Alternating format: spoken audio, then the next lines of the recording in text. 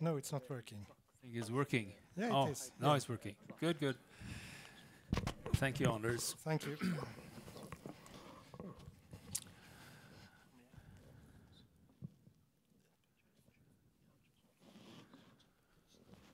So, uh, ladies and gentlemen, uh, it's a pleasure being here in Gothenburg. Thank you for inviting me. Um, Biokraft is a participant in Bio4Fuel, uh, proud one, uh, and, and that's one of the organizers of this conference. Uh, it's a privately held company in um, with headquarters in Trondheim, Norway, and it's uh, 10 years this year. So I, I was a I was helping to found Biokraft myself uh, 10 years ago, and I later became the CEO.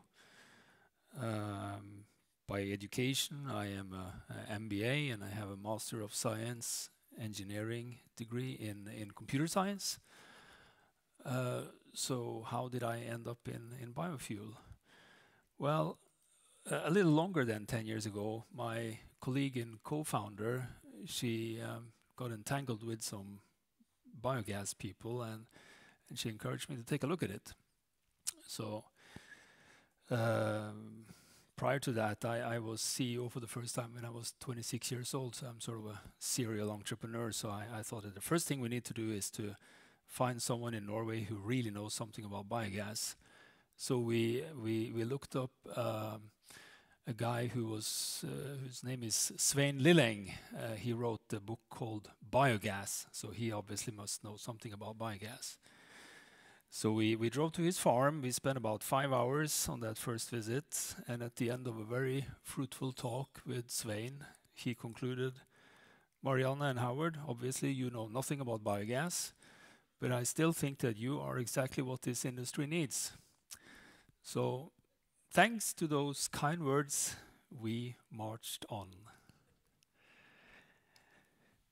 Um, building a sustainable European biofuel industry, I think if we produce the biofuel sustainably, uh, to to actually make the European biofuel industry sustainable is not only but very much about profitability. So I'm gonna uh, talk a little bit about Biokraft and our development and also our quest for what we call green profitability.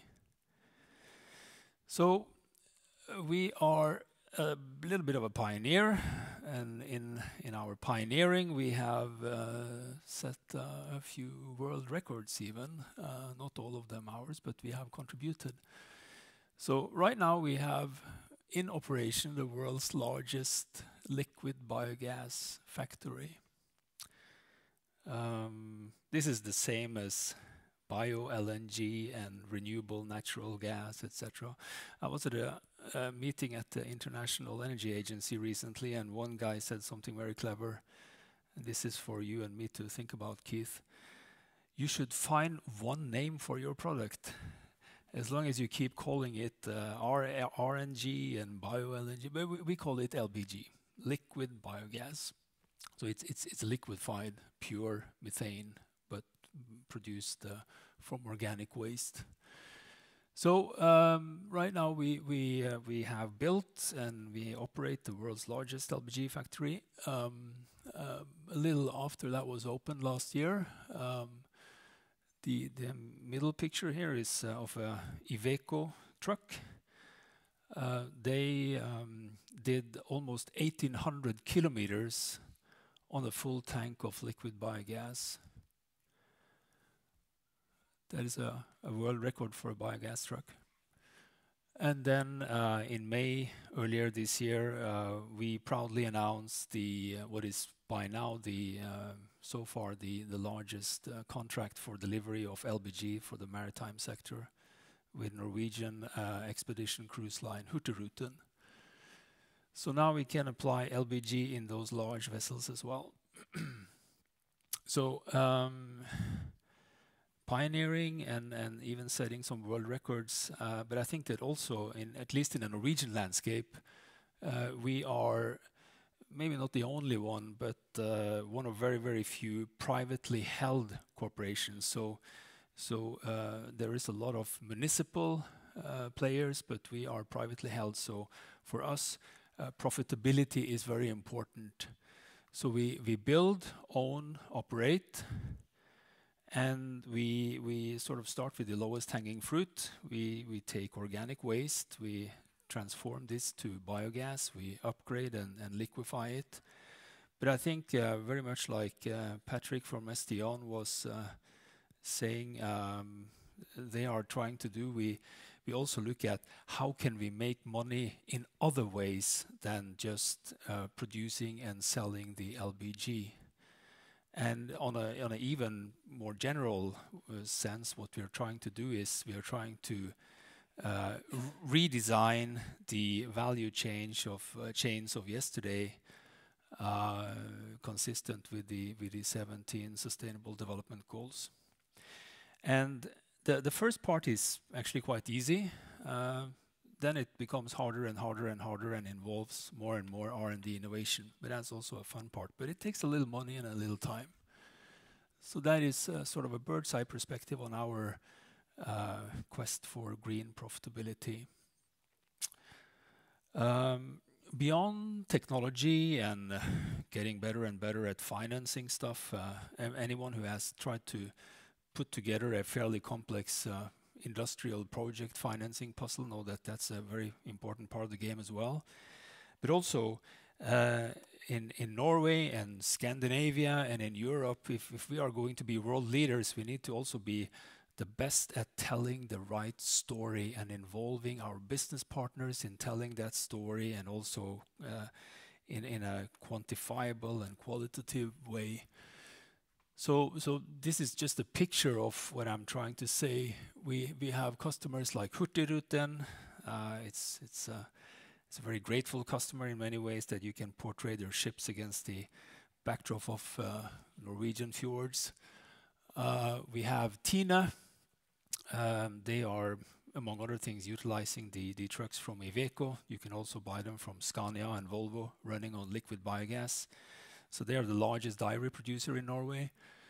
Um, uh, and uh, we have the Norwegian salmon farming industry, uh, from which we take a lot of waste or by-product. So it's important that we tell this story together with our partners, and I also very much agree with Patrick that part of this building a sustainable industry is working together and, and partnering. When we um, started out, back to knowing nothing about biogas and uh, how do we do this, we we started looking at um, um, how which part of the market do we address?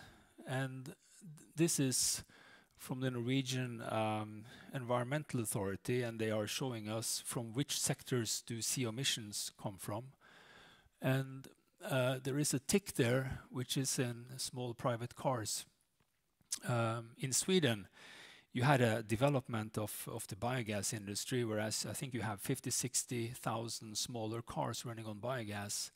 Uh, we saw in Norway that uh, we could not emulate the Swedish success story because uh, the Norwegian government had already put in place such attractive incentives for uh, buying and using electric cars, that it would probably be really outright stupid to try to compete with that and and try to convince people that they should have biogas cars instead.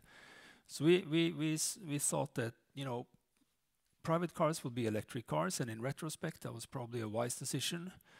Uh, today, more than 50% of all new cars bought in Norway are electric cars, so they will all be electric. We saw that for heavy vehicles and in the maritime sector, there was uh, a need for a energy carrier um, that was uh, green and and something else than electric.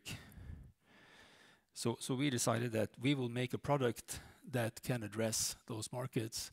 And in the beginning, we hadn't even decided to do only biogas. We looked at IH2 and some other technologies, but we ended up doing biogas because